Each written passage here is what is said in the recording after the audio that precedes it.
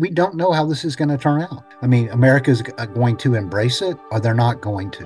But our customers, our shoppers are really inquisitive. When they see this, they will pick it up just like I did 18 months ago. Yeah.